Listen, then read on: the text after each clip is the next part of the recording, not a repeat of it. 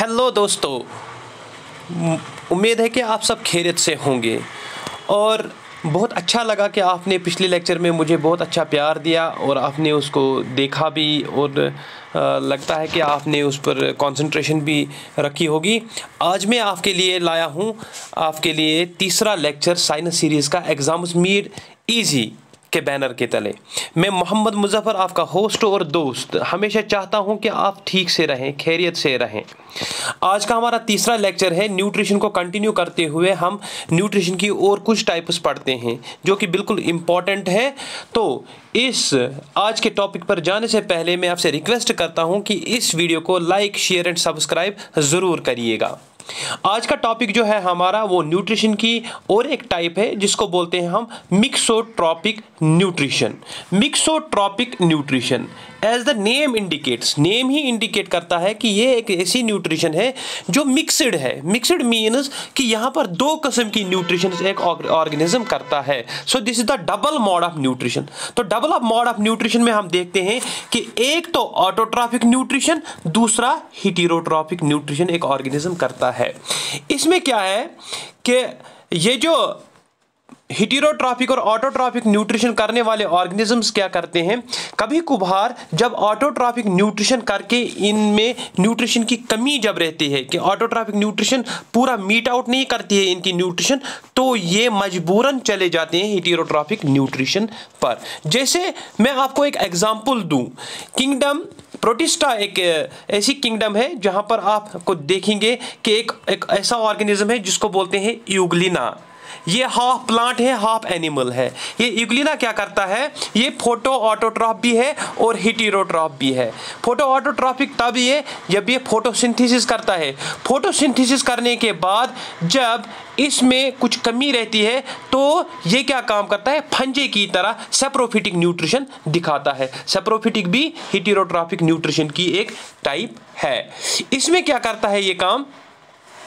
Photo autotrophic यानी photosynthesis करके जब इसमें कमी कुछ रहती है तो ये डिकेइंग ऑर्गेनिक मैटर को क्या करता है? डाइजेस्ट और उनसे अपनी न्यूट्रिशन निकाल देता है।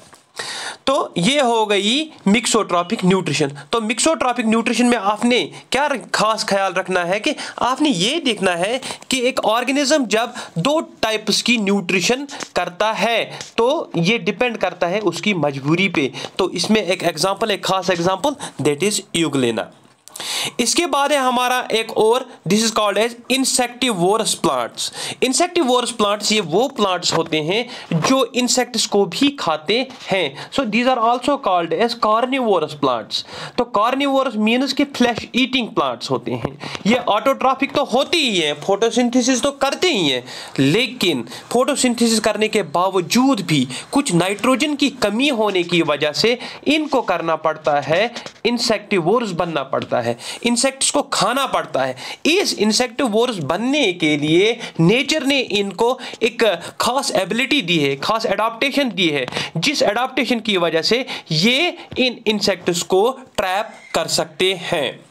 तो insectivore plants except peculiar mode of nutrition these plants are partly autotrophs and partly heterotrophs तो यहाँ पर ये दिखाता है कि these are partly autotrophs and these are partly heterotrophs because these plants are green क्योंकि ये ग्रीन है क्लोरोफाइटियस है क्लोरोफिल बियरिंग प्लांट्स है, ये फोटोसिंथेसिस करते हैं और फोटोसिंथेसिस से अपना खाना खुद बना देते हैं। लेकिन they also digest some insects. These plants trap insects and digest them in the help of digestive enzymes. असल में क्या होता है कि ये एक ऐसा प्लांट होता है, जैसे मिसाल के तौर पर ये मैं यहाँ पर थोड़ा सा ड्रॉ करता हूँ इस प्लांट को। ये अगर प्लांट का सिस्टम मानो दिस इज़ सॉइल तो यहाँ से एक ऐसी चीज़ बनती है कि ये ऐसी वाली चीज़। This is called as pitcher P I T C H E R pitcher इस पिक्चर में क्या काम करते हैं? इसमें डाइजेस्टिव एंजाइम्स रहते हैं और इंसेक्ट्स आते हैं। इसमें जाते हैं और वो वहाँ पर फंस जाते हैं। और ये पिक्चर बंद कर देता है। पिक्चर बंद करने के बाद डाइजेस्टिव एंजाइम्स रिलीज़ करता है और रिलीज़ करने के बाद इनको डाइजेस्ट करता है। फिर से पिक्चर खोल देता है। बदल इंसेक्ट्स के लिए। तो यहाँ पर ये जो इंसेक्टिवोर्स प्लांट्स हैं, ये ऑटोट्रॉपिक भी होते हैं हिटीरोट्रॉपिक भी होते हैं। तो इनकी खास एडाप्टेशन होती है पिक्चर, और इन प्लांट्स को हम कहते हैं पिक्चर प्लांट्स भी। क्यों इंसेक्ट्स को ये खाते हैं? इंसेक्ट्स को इसलिए खाते हैं ताकि इनमें जो नाइट्रोजन हो इन इंसेक्ट्स में, वो नाइट्रोजन किसमें चला जाए? प्लांट में, क्योंकि वहाँ पर डेफिशिएंसी होती है नाइट्रोजन की। अब ये जो इंसेक्टिवोर्स प्लांट्स है ये इसमें क्या पूछा जाएगा? सबसे ज़्यादा पूछा जाता है इसमें एग्जाम्पल्स एग्जाम्पल्स आपने याद रखने हैं. एग्जाम्पल्स में हमारे पास है इसके इंसेक्टिवर्स प्लांट्स में निपेंथीज जिसको हम दूसरा नाम बोलते हैं, पिक्चर प्लांट भी. दूसरा है ड्रोसेरा वीनस फ्लाइट्रेप ये इसका कॉमन नेम है. और Dionaea sun dew plant these three examples are must और इन एग्जांपल्स को आपने याद रखना है कि इंसेक्टिवोर्स प्लांट्स ये होते हैं. ये पूछा जाएगा. इसके बाद है हमारा न्यूट्रिशन इन ग्रीन प्लांट्स जब तक हमने पढ़ा these were the types of nutrition तो टाइप्स ऑफ़ न्यूट्रिशन में हमने सबसे पहले पढ़ा ऑटोट्रॉपिक न्यूट्रिशन ऑटोट्रॉपिक न्यूट्रिशन दूसरा हमने पढ़ा था हिटीरोट्रॉफिक न्यूट्रिशन ऑटोट्रॉपिक में हमने पढ़ा था फोटोसिंथेसिस और केमोसिंथेसिस हिटीरोट्रॉपिक में हमने पढ़ा, इसमें होती है खास मेन थ्री टाइप्स जो सेप्रोफाइटिस दूसरा सेप्रोफिटिक न्यूट्रिशन दूसरा पैरासिटिक न्यूट्रिशन और तीसरा होलोजाइक न्यूट्रिशन और उसके साथ साथ हमने पढ़ा मिक्सोट्रॉपिक न्यूट्रिशन भी और इंसेक्टिवोरस प्लांट्स भी. अब काम करते हैं जो ऑटोट्रॉपिक न्यूट्रिशन है, इसमें एक खास एक प्रोसेस होती है, जिसको हम बोलते हैं फोटोसिंथेसिस फोटोसिंथेसिस का मतलब ही है कि ये जो प्लांट्स होते हैं या ऑर्गेनिजम्स होते हैं, वो अपना खाना खुद बनाते हैं by the process of photosynthesis हर कोई green plant all the green plants have autotrophic mode of nutrition जितने भी इस वर्ल्ड में ग्रीन प्लांट्स हैं तो वो क्या करते हैं? वो ऑटोट्रॉपिक न्यूट्रिशन का इस्तेमाल करते हैं। They synthesize their own food by the process of photosynthesis तो ये क्या काम करते हैं? ये तो सिंथेसिस करते हैं फ़ूड की। लेकिन जिस तरीके से ये सिंथेसिस करते हैं अपने फ़ूड की, उस तरीकों को कहते हैं, इस प्रोसेस को कहते हैं हम फोटोसिंथेसिस ये फोटोसिंथेसिस असल में एक ग्रीक वर्ड है photo photo means light and synthesis means to prepare तो ये लाइट की वजह से, जब तक ना सनलाइट हो, तब तक ये कोई भी प्रोसेस नहीं कर सकते, तब तक ये कोई खाना नहीं बना सकते हैं। ये एक single most important physico chemical process है वर्ल्ड की, यानी कि फ़िज़िकल प्रोसेस भी है और केमिकल प्रोसेस भी है।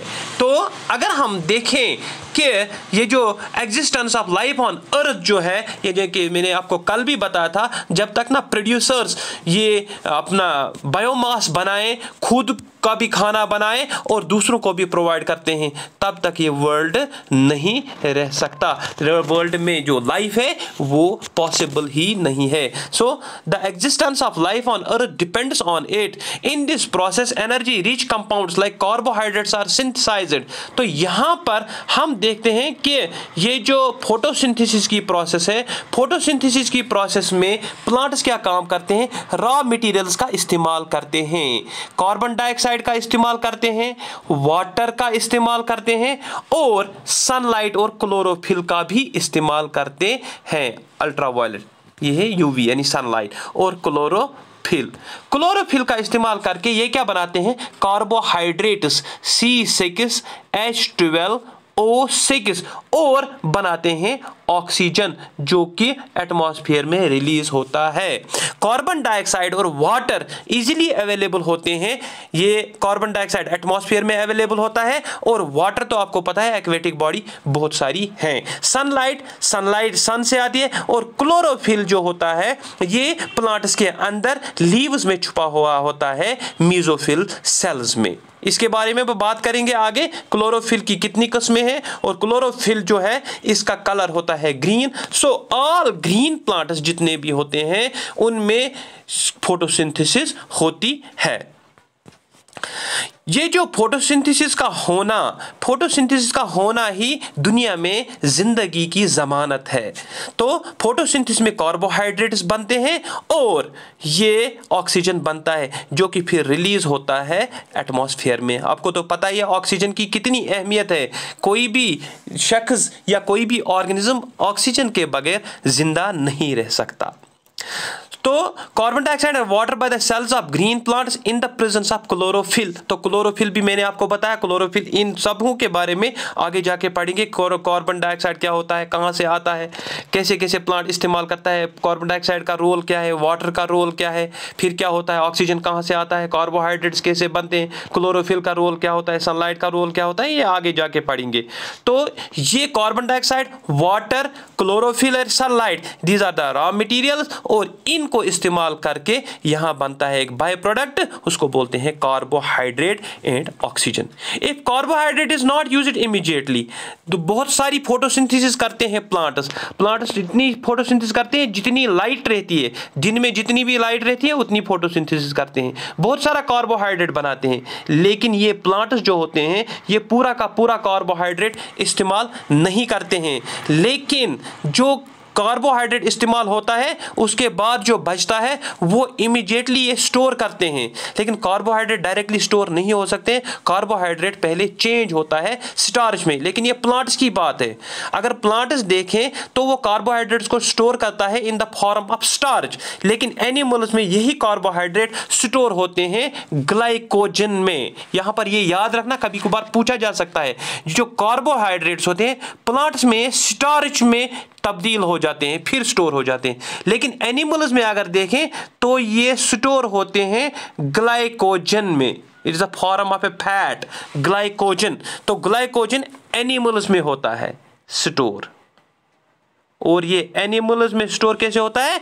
बिकॉज़ कार्बोहाइड्रेट्स गेट्स चेंज्ड और converted into glycogen and becomes the reserve food material for the animals तो इन द यही अब ये स्टोरेज जो होता है, जब कोई फेमाइन होता है, जैसे डॉर्मेंसी पीरियड होता है, ये फिर इन प्लांट्स को एनर्जी देती है। तब तक सर्वाइव करने के लिए, जब तक ना फिर से फेवरेबल कंडीशंस आ जाएँ। Starch serves as the internal energy reserve to be use and when required by the plants और ये स्टार्च प्लांट के अंदर ही रिज़र्व एनर्जी रहती है। तो उस एनर्जी को ये प्लांट्स इस्तेमाल करते हैं जब इनको ज़रूरत पड़ती है। The process of photosynthesis can be represented तो यहाँ पर एक अच्छी सी, ये इक्वेशन मैंने लाई है कभी कभार ये इक्वेशन पूछी भी जा सकती है। बैलेंसड इक्वेशन है। बैलेंसड इक्वेशन में आप देखें six times carbo carbon dioxide इस्तेमाल होता है और ट्वेल्व टाइम्स वाटर का इस्तेमाल होता है। ये याद रखना कि सिक्स टाइम्स कार्बन डाइऑक्साइड और ट्वेल्व टाइम्स वाटर का इस्तेमाल होता है। तब जाके एक मालिक्यूल कार्बोहाइड्रेट का बनता है और वापस क्या मिलता है? वापस मिलता है वाटर और ऑक्सीजन। दिस ऑक्सीजन जो होता है, ये एटमॉस्फेयर में चला जाता है एज बाय प्रोडक्ट ये जाता है एटमॉस्फेयर में, जो कि हम इस्तेमाल करते हैं। फिर हम इस्तेमाल करते हैं, बाद में हम इसको कन्वर्ट कर देते हैं कार्बन डाइऑक्साइड में, फिर प्लांट को मिलता है। तो ये रही आपके पास ये फोटोसिंथेसिस की। यहाँ पर मैंने एक छोटा सा बनाया हुआ है ये डायग्राम यहाँ पर देखते हैं कि ये यहाँ पर सन है। सन से आती है लाइट एनर्जी और ये लाइट एनर्जी पड़ती है लीव्स पे। लीव्स में होते हैं क्लोरोफिल और ये क्लोरोफिल सनलाइट को ट्रैप करते हैं। जैसे ही इन्होंने ट्रैप किया तो यहाँ जो जड़ों से, यानी रूट से वाटर ऊपर चला जाता है। वो वाटर क्या काम करता है? वाटर ऊपर चला जाता है by the help of xylem xylem एक कंडक्टिंग टिश्यू होता है कॉम्प्लेक्स टिश्यू और ये टिश्यू की वजह से ये चला जाता है लीव्स में। वहाँ पर इसकी स्प्लिटिंग हो जाती है। हाइड्रोजन अलग हो जाता है ऑक्सीजन अलग हो जाता है। तो यहाँ पर ये याद रखना कि फोटोसिंथेसिस में अगर हमसे पूछा जाए कि ऑक्सीजन कार्बन डाइऑक्साइड से आता है या वाटर से आता है तो आप डेफिनेटली ये जवाब दीजिए कि जो ऑक्सीजन एटमॉस्फेयर में रिलीज़ होता है आफ्टर फोटोसिंथेसिस वो आता है वाटर से, न कि कार्बन डाइऑक्साइड से। और जो कार्बोहाइड्रेट बनते हैं, वो एक्चुअली कार्बन डाइऑक्साइड रिड्यूस हुआ होता है into the carbon di sorry carbohydrate में। ये लंबी प्रोसेस है, ये आगे जाके हम पढ़ेंगे कि कैसे ये जो फोटोसिंथेसिस है, इसके दो फेजेस होते हैं, एक तो लाइट रिएक्शन दूसरा डार्क रिएक्शन उसमें हम पढ़ेंगे कि लाइट रिएक्शन में क्या होता है और डार्क रिएक्शन में क्या होता है। लेकिन यहाँ पर आपने ये याद रखना है कि ये जो ऑक्सीजन होता है, ये असल में स्प्लिटिंग ऑफ़ वाटर की वजह से होता है, जो कि स्प्लिटिंग हो जाती है लाइट एनर्जी की वजह से। इसके बाद जो फोटोसिंथेसिस में मेन इवेंट्स होते हैं मेन इवेंट्स ड्यूरिंग फोटोसिंथेसिस वो क्या क्या होते हैं? सबसे पहले the carbon dioxide from the air enters into the leaves through stomata तो यहाँ पर देखें आप कार्बन डाइऑक्साइड एटमॉस्फेयर में मौजूद होता है और लीव्स में ये कैसे अंदर चला जाता है? लीव्स की दो फर सरफेस होती हैं, एक तो ऊपर वाली सरफेस दूसरा नीचे वाली सरफेस इन सरफेस को कहते हैं हम अपर सरफेस या लोअर सरफेस और अगर हम टेक्निकल टर्म में देखें this is called as adaxial surface ad abaxial surface adaxial ऊपर वाली एब एक्शल नीचे वाली. और जो ये लीव्स होते हैं इनमें होते हैं छोटे छोटे पोर्स छोटे छोटे सुराखें होती हैं.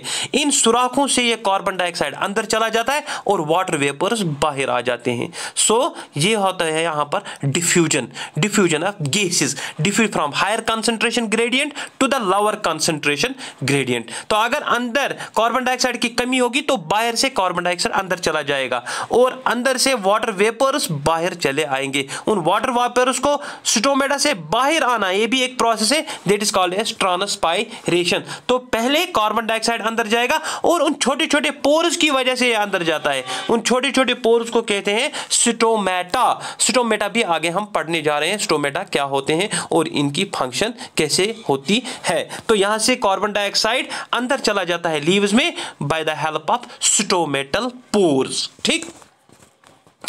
दूसरा वाला जो हमारे पास अब है, वो है water water from the soil is taken up by the roots and sent to the leaves तो यहाँ से अगर हम देखें तो ये वाटर सॉइल में होता है and it gets absorbed by these roots जो ये रूट्स होते हैं, इनमें जो फाइबरस रूट्स होते हैं, वो ज़्यादा एब्जॉर्ब करते हैं. यहाँ पर ये याद रखना कि जो रूट प्लांट के रूट्स होते हैं, उनमें जो छोटे छोटे रूट्स होते हैं फाइबरस रूट्स उनमें ज़्यादा एब्जॉर्बशन होती है वाटर में. बहुत दफ़ा पूछा जा जा चुका है ये क्वेश्चन कि मैक्सिमम एब्जॉर्प्शन कौन से रूट्स करते हैं? वो करते हैं फाइब्रस रूट्स और रूट हेयर्स रूट हेयर्स भी करते हैं और फाइब्रस रूट्स भी करते हैं. तो वाटर कहाँ से चला जाता है? सॉइल में ऑलरेडी प्रेजेंट होता है और ये रूट्स की वजह से अंदर चला जाता है. एंड देन अंदर जो प्लांट्स में होता है एक दो किस्म के टिश्यू एक तो जाइलम और दूसरा फ्लोएम आपने सुना होगा. लेकिन जाइलम जो होता है, वो रेस्पॉन्सिबल होता है वाटर को रूट से कंडक्ट करना और ऊपर हर एक पार्ट में ले जाना. तो जाइलम का ये फ़ंक्शन है कि वाटर को कंडक्ट करे।